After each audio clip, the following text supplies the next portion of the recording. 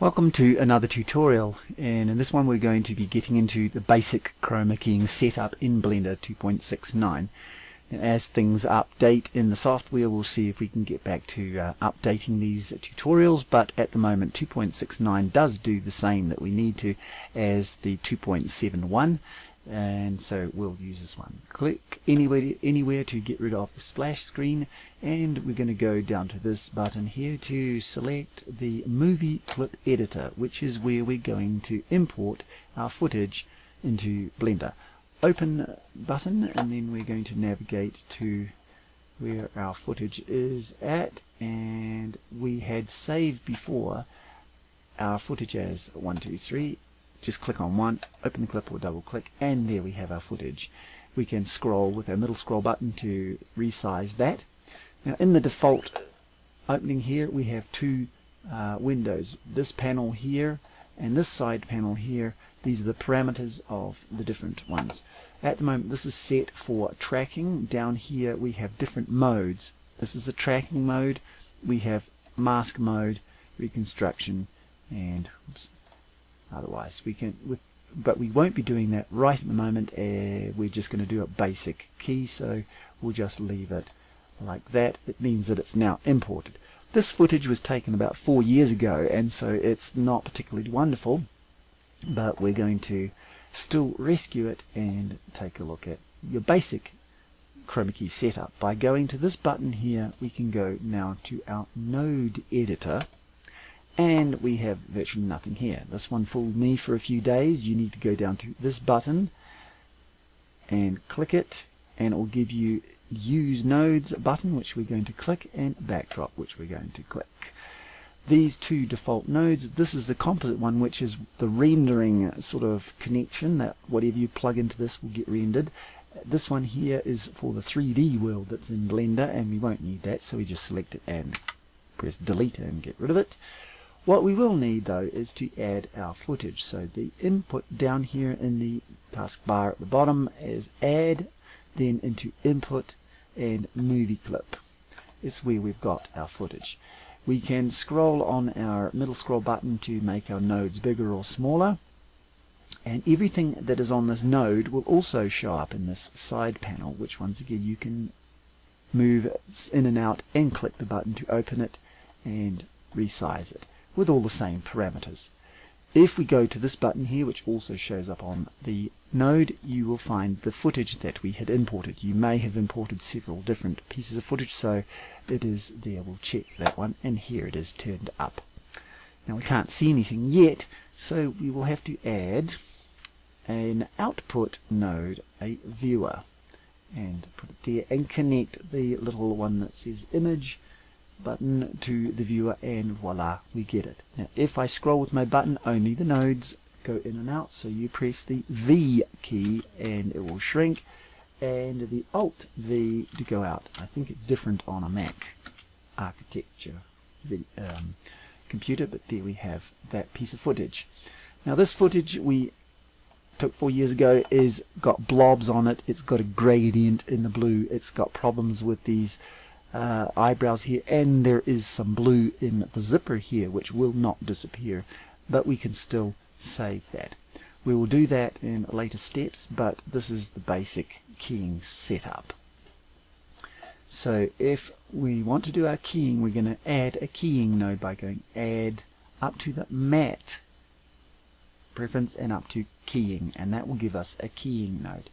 While you dragging these around and place them on a wire it will turn orange and you just let it drop and it will connect automatically but you want, might want to connect different parameters so you can also connect those individually. And we're going to connect to the top button here and to the viewer so that we can see what we're doing. You can see an immediate key but it's keying on white rather than black because here is the color that's the key color. We will if we select that and go drop dropper and go to the node here itself. It won't well it has in this case. Sometimes it doesn't select it uh, the color that's in there and sometimes you have to connect the node to the viewer so that you can then go and select the color that you want. And there it has done that. So now we have a key on the blue color, but as I said before, there's actually a gradient in the blue, so it hasn't disappeared it completely. We can fix that though. If we take the alpha channel here and connect it to the viewer, you will see that we've got the alpha channel. But if we take the keying node and connect it, we now see what the keyer is seeing in the alpha channel. Perfect white is going to be solid, perfect black is going to be transparent, but we've, we've got a bunch of grays in the gradient. So we need to now adjust those. Over in the parameters, which are the same in the node as they are over here, let's shrink that and move it out of the way even. The first thing we're going to look at is the thing called clip black. All of the grays, if we move the slider, the, the grays that are close to the black will be considered black. And those that are in the whites will stay white. And as you see the white will get more solid, also doing the opposite. Also, you will find that this footage is not too bad for speckling, but you see there's some spots that are turning up here. We can, they're like specks in things like Adobe After Effects. It's called despeckling to get rid of that. And we can do that with this edge kernel. It says here you can adjust those to what size pixels. Anything that is smaller than that it will consider transparent. Anything bigger than that it will make them disappear. See, so it adjusts the size. It defaults at 3. And if you then up the tolerance, it will anything that is smaller than those tolerances, it will then disappear them. And just for this exercise, let's see what happens. But you use that one to despeckle it, and my black clip is adjusting it so that I can get a good clean key. You'll notice here there are some holes appearing in the white area and they will not disappear no matter what I do because they're basically something blue that is in the zipper. So leave up there. And you'll notice that it, the harder you push it, the more it's going to eat those fuzzy bits on his eyebrows. Let's go back to the node and connect the color back into the backdrop and you can see we have a reasonable uh, a reasonable key.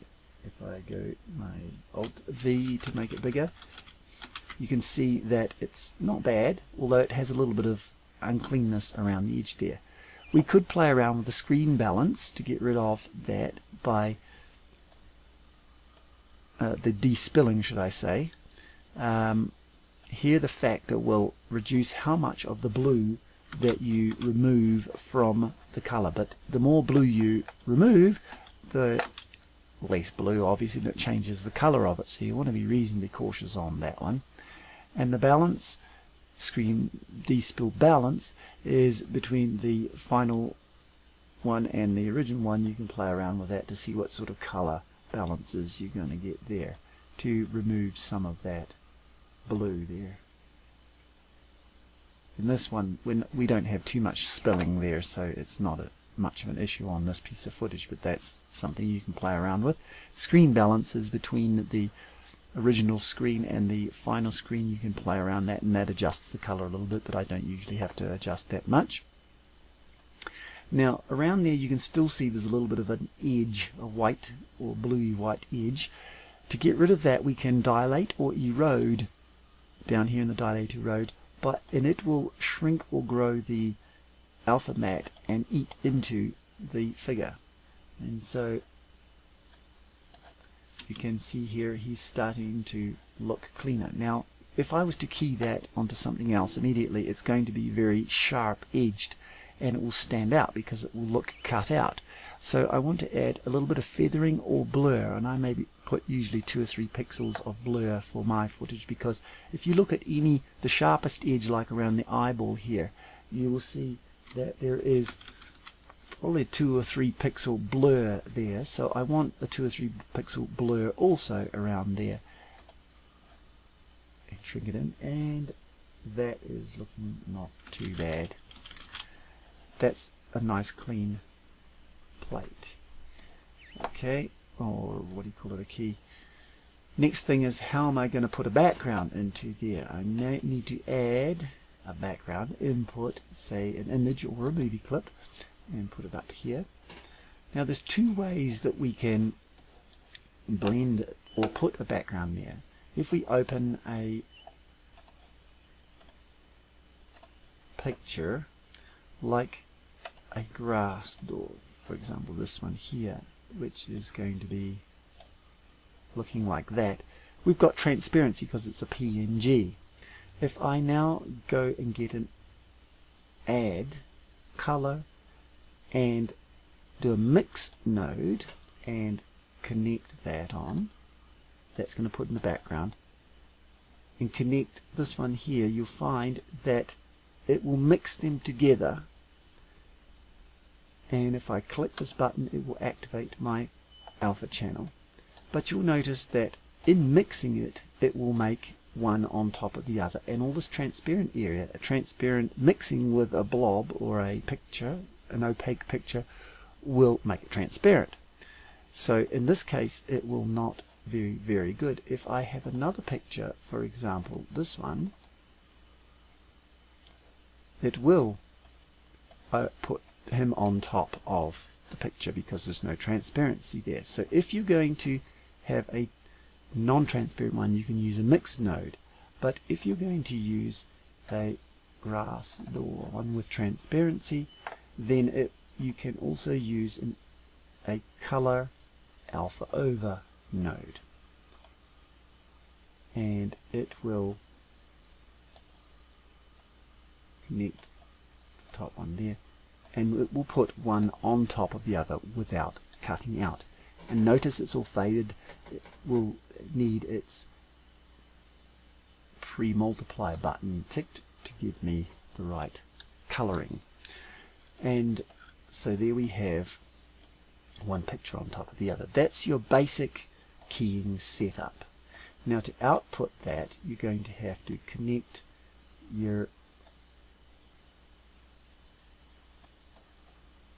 no, um, that's basically connect your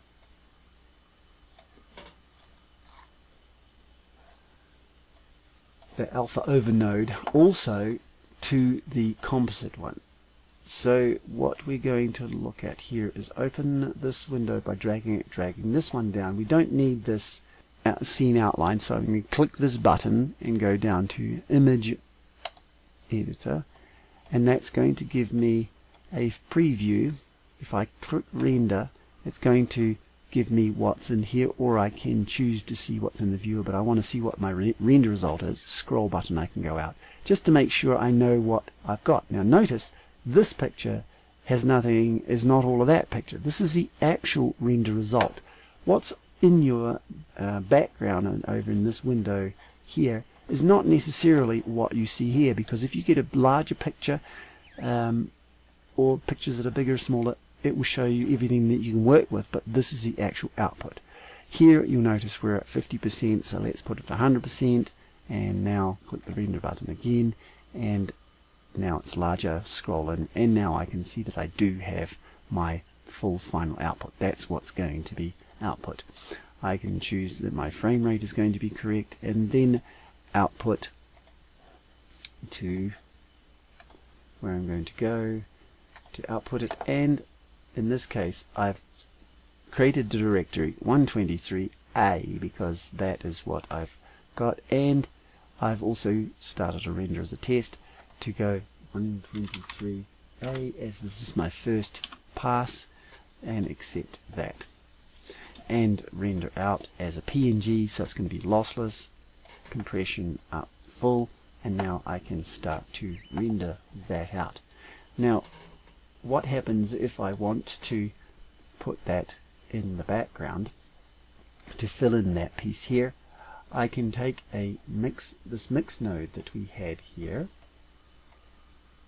and I can connect scrolling in connect the output of my alpha over to the top button which is the back of it. Then I can go and add an input node of another image and open the other one that we had which was the cave scene I think and then I can connect him into oops into the background. It's swapped around.